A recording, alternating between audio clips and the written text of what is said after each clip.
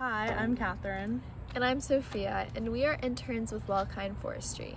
There's a hidden danger in our skies. Here in the Northern Hemisphere, it is mainly prominent in the months of June, July, and August. These months bring beach days, road trips, and endless outdoors time. Unfortunately, our favorite summer memories may soon be a thing of the past. In 2020, NASA and NOAA reported that the ozone hole reached a size nearly three times the size of the continental United States, a mind boggling 24.8 million kilometers. But how did we get here?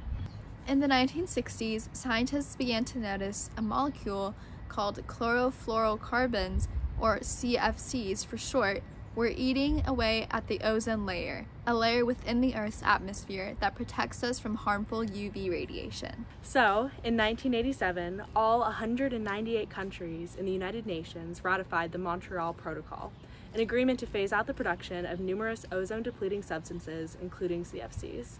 In practice, all countries have phased out nearly 98% of ozone depleting substances.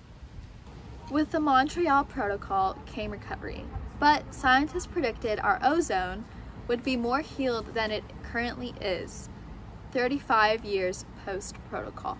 So, why isn't anyone doing anything about this? It appears that many politicians and people have disregarded the ozone hole as a serious issue.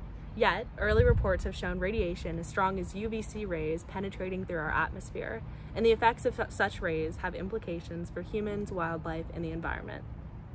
Unfortunately, UV radiation doesn't just affect the environment, it affects humans as well. That is true. On a hot summer day, all you want to do is sit by the pool and bask in the sun, hoping for a golden tan. But the reality is, exposure to UV rays can cause premature aging of the skin and signs of sun damage. It can cause the cornea on the front of the eye to become burned or inflamed, Worst of all, damage from UV radiation has been associated with higher risks for skin cancer. One threat to plants and trees is sun scald. Similar to sunburn, UVB radiation damages the leaves of a plant or the bark of a tree.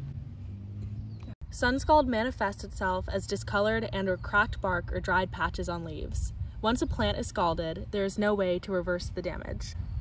When scalded, important DNA is damaged. Photosynthesis decreases or stops. The plant is unable to grow. And may be rendered sterile and unable to reproduce. As if the UV rays haven't done enough damage, they also affect wildlife.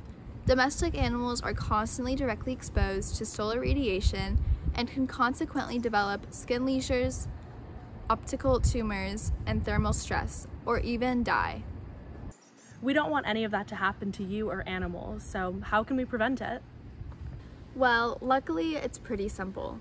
If you would like to go out in the sun, make sure you wear a hat that provides shade for your face or sunglasses to protect your eyes.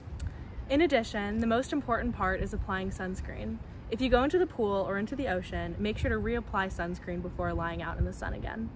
This is why thinned forests, where more UV can hit more of each tree, can be very damaging to the trees. Keeping forests intact is an effective way to protect against excessive UV damage. Additionally, some trees may require a shade cloth to protect them from the sun. To protect new plants from receiving too much sun, it can be effective to plant on the north or west side of your building. Lastly, educate others in your community and around the world by sharing information and resources. Urge your politicians to ban and protect against the production of ozone depleting substances. For more information on how to protect yourself from the UV rays, you can visit the CDC's website as well as wellkind.org.